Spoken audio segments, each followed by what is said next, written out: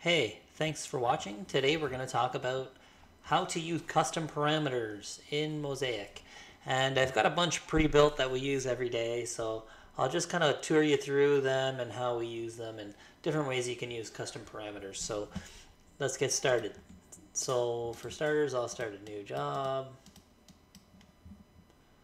And I'll just call it test, custom parameters.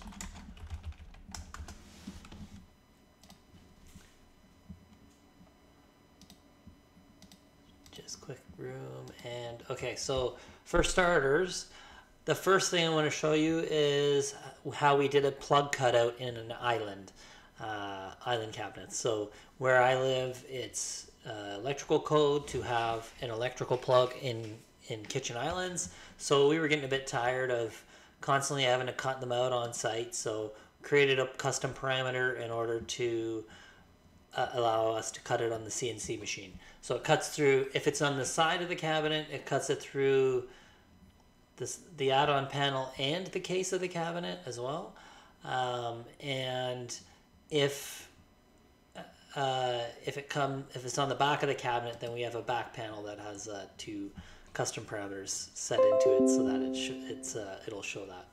First, I'll set in a three drawer cabinet. Think I'll do it on an island instead of a wall like this. Let's get rid of that. Let's go back to room. Oh, it's going to make me do... I'll just make it an invisible wall.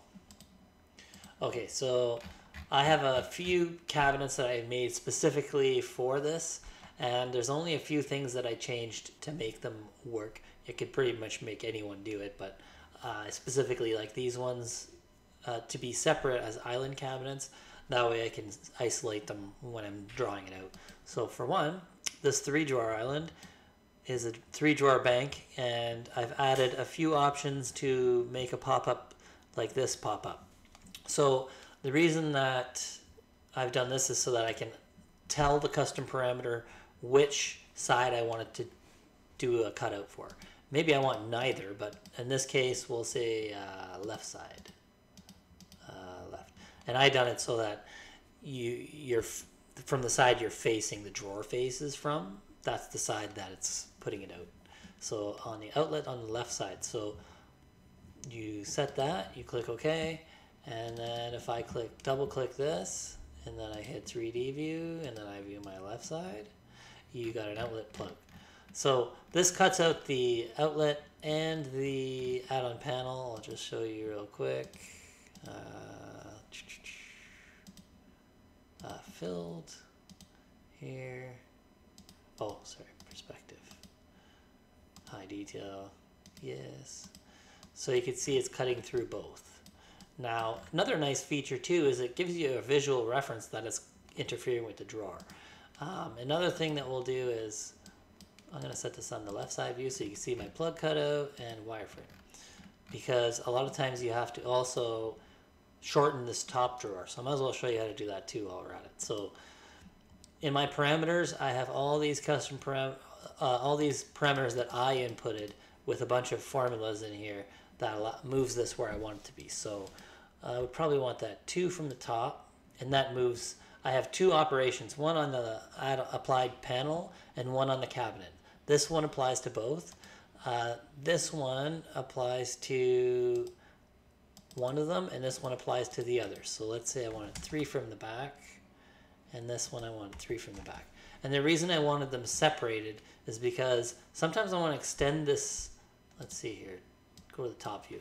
Sometimes I want to extend this add-on panel past a little bit, or maybe I want to use this add-on panel as support for my countertop and I want to extend it like 12 inches past.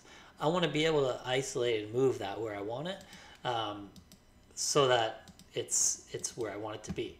So that's why I made a second uh, parameter for the add-on panel. This allows me to change the orientation, whether I want it horizontal or vertical. Uh, that allows me to do that. So now you can see I have operations there and it's going to cut it out. I set it up as a pocket so it's just pocketing out the whole piece which in some ways is it's a little bit more on tool wear but it's a little nicer in the fact that there's no big chunk that flies out when you cut it out. Uh, so yeah.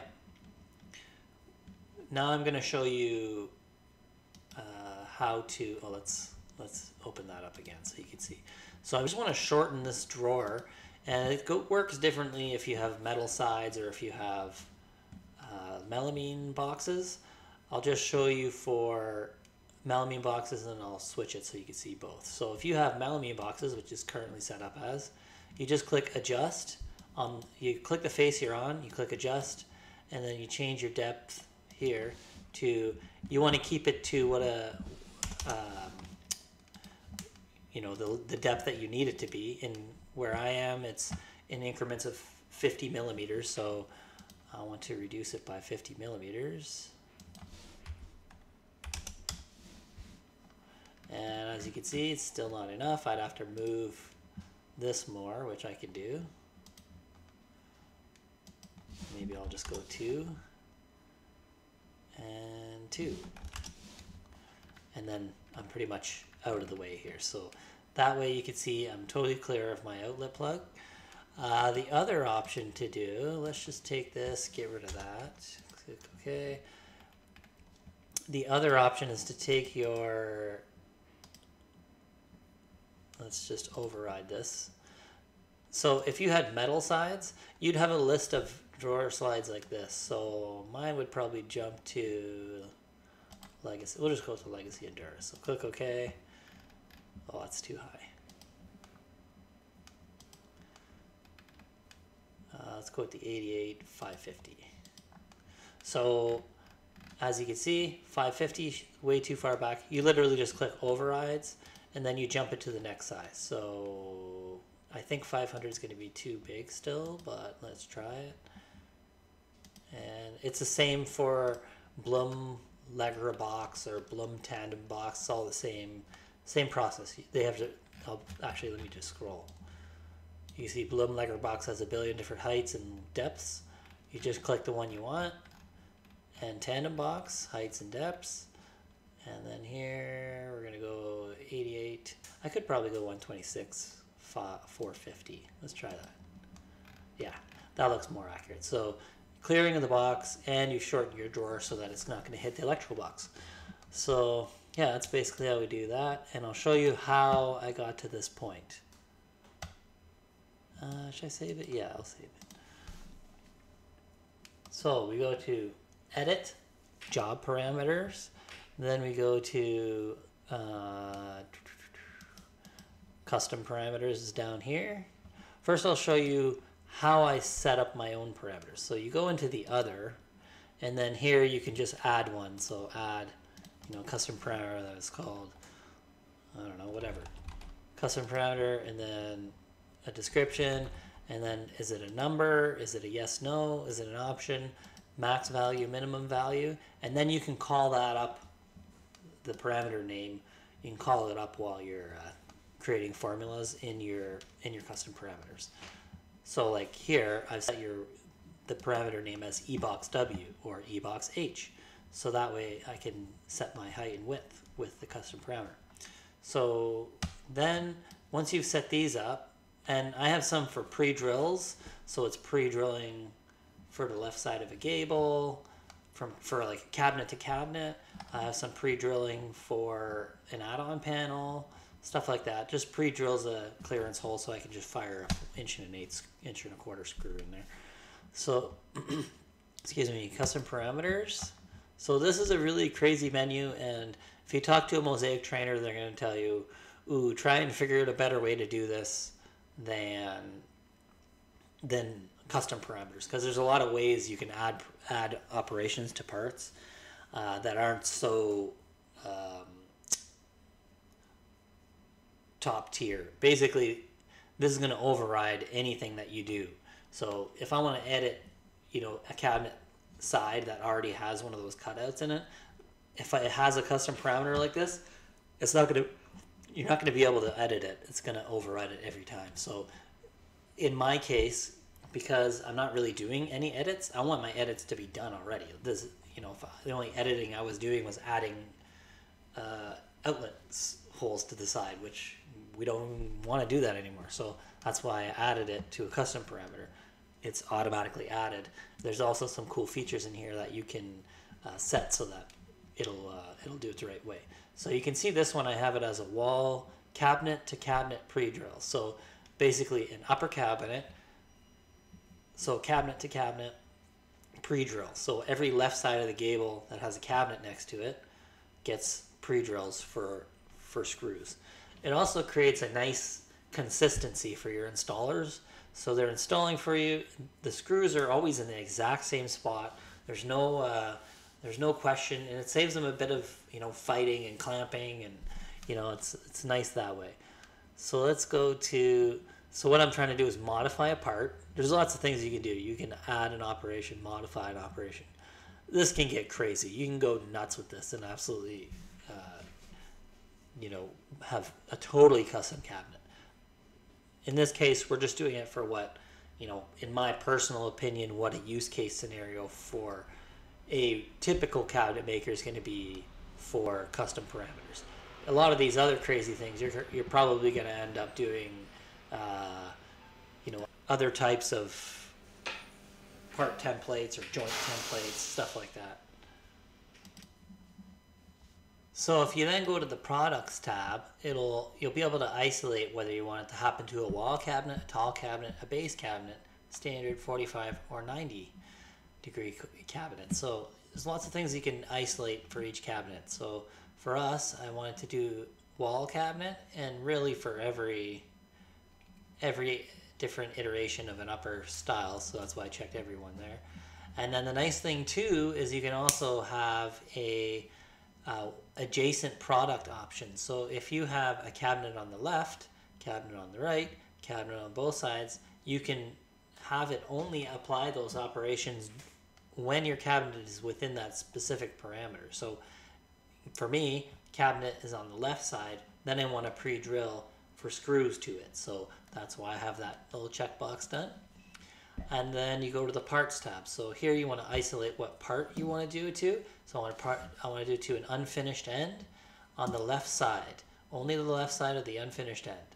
Then I want to change the operations and I'm adding, as you can see, screw holes. Let's go to operations here. So I have four holes, two, some of them aren't showing on this particular drawing, but they are all set by operations here. You see at my, uh, let's go to my parameters. You can see my PDH, pre-drill height. So height minus pre-drill height. Everything's ran by parameters and parameters and formulas. So that's where things can get really powerful. If you have something specific you're trying to add, you can almost certainly do it with a custom parameter. So that's how you add a custom parameter. And then the last thing you'd have to check off to make sure that it's working properly is that this little parameter use custom parameters value is set to yes. If it's set to no, you're not going to get any custom parameters. It's also nice if you're trying to, like I said, it custom parameter overrides everything. So if you're trying to edit a cabinet, you can turn off custom parameters on that cabinet by loading this use CPS, uh, and then changing that to no. So because I use it for everything, I always have it checked as yes. So that's one. And then the other thing you can do, so it's so that's pre-drills. I have a lot of different pre-drill ones.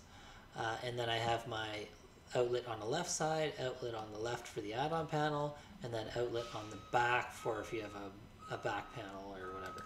So let's let's check this left one. So the nice thing here is that uh, let's go to products. You can actually select whether you want it to call out a product option. So unless I have outlet left checked as yes, this will not apply to this cabinet's uh, cabinet part.